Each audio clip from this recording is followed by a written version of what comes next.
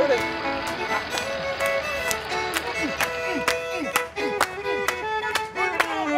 Hello, uh, my name is Brent Williams from Studio Black. I play the part of the musician. And I do fiddle, banjo, and uh, piano, and all kinds of good stuff like that. There we go. Fiddles and banjos and things like that are kind of how I grew up, and that's how we made our music.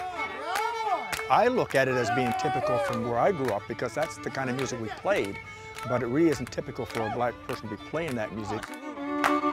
Birth mama, papa called a little boy Ned. Raised him on the banks of a river bed. Yeah, houseboat tied to a big tall tree. A home from my mama and papa and. You're acting is what you're doing because you have to believe in what you're singing about. And each time I sing a song, I have a picture of what I'm singing about. And that's what music is, and the same as acting. I think you got it. You got her? Yeah.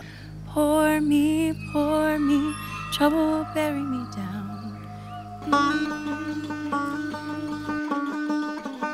The main reasons for doing what I do is seeing how it affects people. The response I get from people, how they react to what I'm doing. That is gratifying because it, it tells you as an artist that you're communicating with them. So music is a, has a profound effect on every one of us. Keep going, keep going. One, two, three,